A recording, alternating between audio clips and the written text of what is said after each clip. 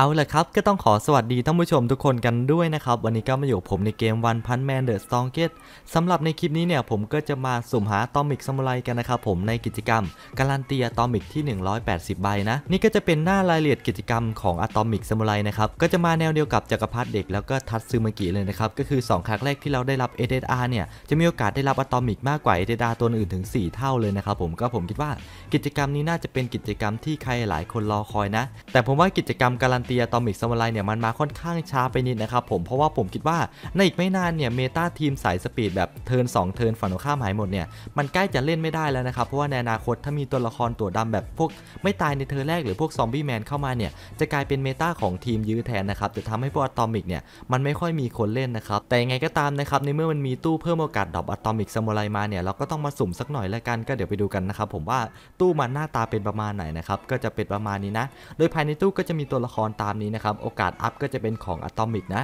ส่วนตัวละครในตู้ที่เหลือเนี่ยก็จะมี Sonic จักรพรรดิเด็ก ราชาทะเลลึก Tanktop Master ราชาใต้ดิน Vaccine Man Asura Kabuto Puri-Puri Prisoner นะครับ ซึ่งแน่นอนนะครับ ตัวละครที่ผมอยากได้มากที่สุดเนี่ยก็ต้องเป็น Atomic นะ ซึ่งตอนนี้ผมมีตัวอยู่ 70 ใบนะครับ เดี๋ยวขอไปซื้อเพิ่มสักนิดละกัน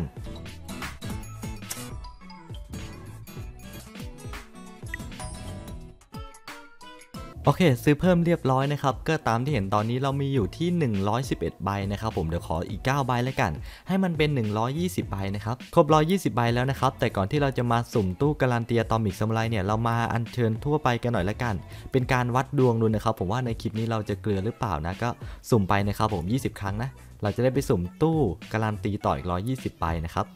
โอเคได้ SR มาเลยนะครับอันนี้น่าจะเป็น Stinger นะครับ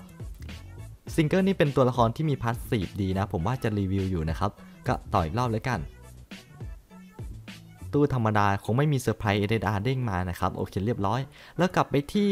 การันตีเพิ่มโอกาส drop Atomic Samurai กันบ้างดีกว่านะครับ มันดูกันว่า 120 ใบที่ผมมีเนี่ย มันจะเพียงพอที่จะอัญเชิญ Atomic Samurai มันได้หรือเปล่านะ คือถ้าได้ Atomic Samurai มันในตอนนี้นะครับ figure ของผมเนี่ยพลังน่าจะขึ้น พอสมควรเลยนะครับผมก็กดไปเลย โหลดนะครับผม เต็มร้อยเรียบร้อยประมวลผลเสร็จสิ้น SR มานะครับกำจัดเหล่าฮีโร่หมดสิ้นแล้วโลกใบนี้จะเป็นของพวกเรานะครับผม ก็ราชาน่านฟ้าประเดิมมาเป็น SR ตัวแรกที่ผมได้นะครับ ก็ต่อเลยครับผม ไอตัวนี้ออกติดกัน 2 ตัวเลยเว้ยใครกล้าขยับตัวนี่ใครเนี่ย อ๋อบูฟายนะครับ ต่อครับ SR อีกแล้วนะครับผม ให้ฉันแบกรับตำนานนี้ก็ไม่เลวนะครับ อันนี้น่าจะเป็น combo infinity นะครับผมจริงด้วยนะ ตัวสาหร่ายว่าจะทำขึ้น 5 ดาวอยู่พอดี ได้เศษมาพอดีเลยนะครับ โอเคครับผม รอบต่อไปครับ SR มาแล้วนะครับ ยามาเกะกะ โอ้โห กอริลลาไซบอกนะ นี่ยังไม่เห็นวี่แววของระดับ SSR เลยนะครับ ได้ SR 2 ตัวไว้ Stinger อีกแล้วนะครับแหมพอบอกว่า passive ดีว่าจะรีวิวนี่ออกมารัวๆเลยนะครับ ในคลิปนี้ผมมีแววว่าน่าจะได้เจ้าตัวละคร Stinger หลายตัวแน่นอนนะ ก็กดต่อครับผมอีก 10 ใบ เอเดดาจะเด้งไหม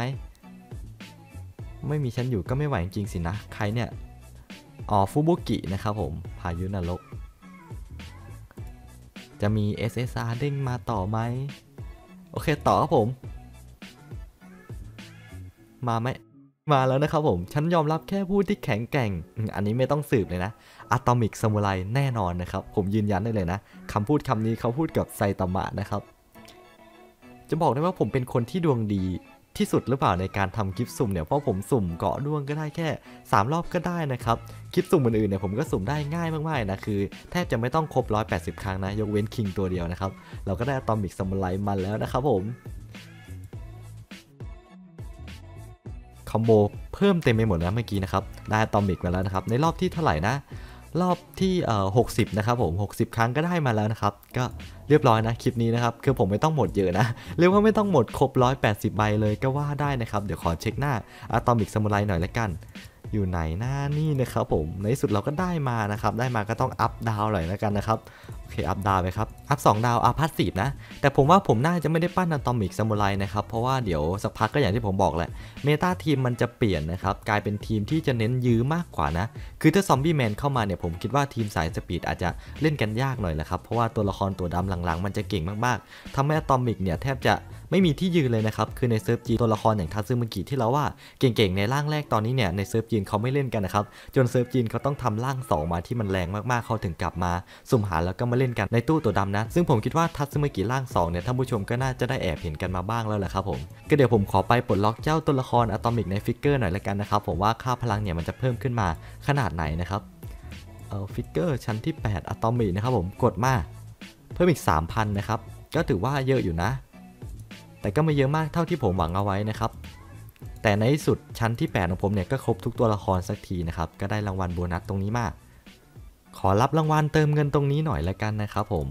รางวัลตัวละครอัญเชิญตัวละครได้ตอมิกมานะครับ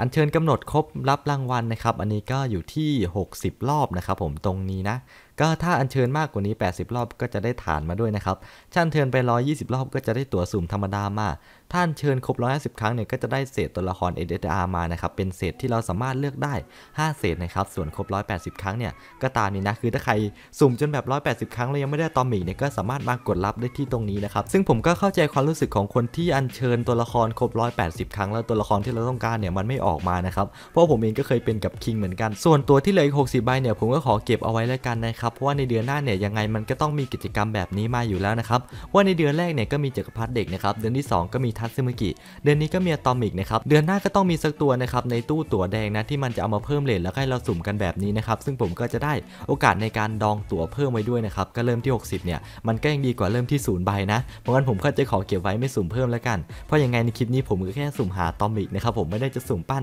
5 ดาวนะครับส่วนคลิปนี้นะครับถ้าใครที่ดวงดีกว่าผมหรือว่าสุ่มได้ไวกว่าผมนะครับได้ก่อน60 ใบเนี่ยก็สามารถมาเม้นขิงกันเอาไว้ได้นะครับ แต่ในคลิปนี้เนี่ยผมสุ่มแค่ 60 ใบก็ได้อะตอมิกมาแล้วนะครับผมเพราะงั้นในคลิปนี้ผมก็ขิงได้นะ แล้วผมคิดว่าผมน่าจะตั้งชื่อคลิปว่าผมเป็นคนที่โชคดีที่สุด ที่สุ่มได้อะตอมิกคนแรกของเซิร์ฟ012 ด้วยนะครับว่าในเซิร์ฟ012 เนี่ยจากที่ผมไล่เช็คดู ยังไม่มีใครได้ตัวละครอะตอมิกก่อนผมเลยนะครับเอาล่ะในคลิปนี้ขอจบไว้เพียงเท่านี้แล้วกันไว้เจอกันใหม่ในคลิปหน้านะครับผมบ๊ายบายนะครับ